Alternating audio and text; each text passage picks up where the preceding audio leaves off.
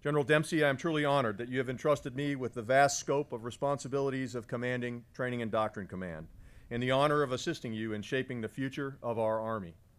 The privilege of commanding such an outstanding organization as TRADOC, composed of some of our Army's finest soldiers and civilians, is truly humbling. TRADOC's motto, Victory Starts Here, could not be more true. TRADOC is the foundation of our Army. Our soldiers learn their basic skills in TRADOC schools. Our leaders are educated by TRADOC, and their formations are designed by TRADOC staffs. The intellectual foundation of our collective mission on warfighting, our doctrine, is written by TRADOC, and TRADOC determines the capabilities our future weapon systems must possess. While our operational forces, our battalions, brigades, and divisions are out winning today's battles using the doctrine, training, and education and weapons that TRADOC provides, TRADOC is busy making sure that they will be even more successful in the next fight. It is an organization of unparalleled importance to the future of our Army and our nation. General Dempsey, sir, I stand in awe of your accomplishments in just over two years of commanding, commanding training and doctrine command. Inside the Army and out, soldiers and civilians see TRADOC stepping to the fore to lead our Army into the future. Rest assured, I will do my utmost to achieve, achieve your vision. Leadership is all about vision and team building. Your vision as the TRADOC commander charted the future for our Army in such a way that your initiatives will be our foundation decades after you and I step into retirement. You built a consensus that allows us to actually achieve important innovations that strengthen the institution and best position us for an uncertain future while simultaneously sharpening the edge of our bayonets. Jill and I are fully committed to realizing and building upon your vision and the foundation you, Deanie, and the Bruners have laid here at TRADOC. I look confidently to the future of our Army in the Dempsey era. Thank you for your trust, your vision, your care for our soldiers and their families. On a personal note, Jill and I want to thank all of our family and friends and mentors who have taken time out of their busy schedules to be here today. Your support, both today and through the years, has been vital to any accomplishments or success that we have achieved.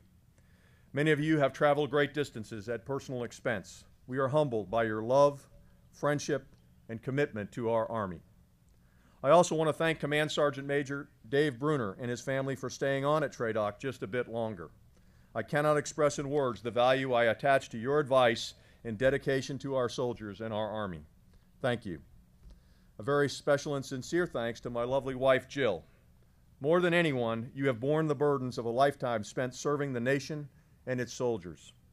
I chose to serve, you chose to love, and through all that love, serve in a capacity far greater than mine. You and all Army spouses are truly the unsung heroes of our great nation. You serve and love our soldiers with such complete selflessness that our contributions are, in fact, the gold standards of all that is virtuous. TRADOC has been and must continue to be an engine of change within our Army. Leading and managing change must be a core competency of this organization. As we work together in the days ahead, we will strive to reinvest in those truly essential functions that define this institution.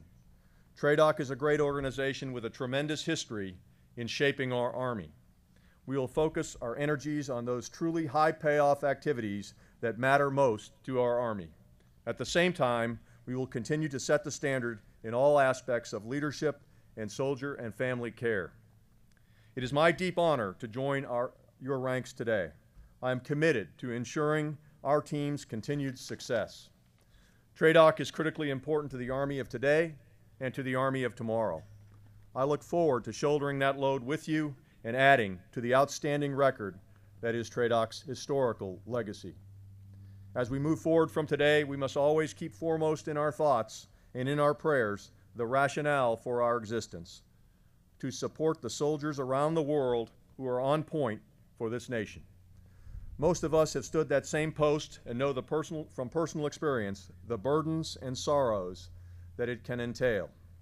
Just as we were once supported, we must commit ourselves to giving more than our best efforts to support them. For some of, of us, this is a very personal commitment.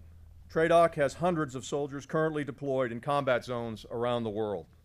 Our comrades and their families need and deserve the best we have to offer.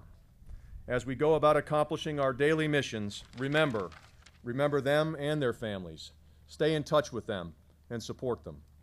In a broader sense, we must support them by making the Army of tomorrow the best Army possible. That is one of our missions here at TRADOC.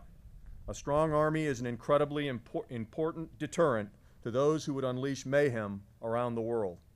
The United States Army, yesterday, today, and tomorrow, stands to prevent those wars through the resolute demonstration of our strength, our ethical principles, and our determination to defeat evil.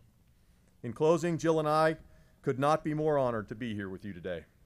Thanks to each and every one of you for taking the time to share this moment with us and the entire TRADOC team. God bless you, the Army, and God bless the United States of America.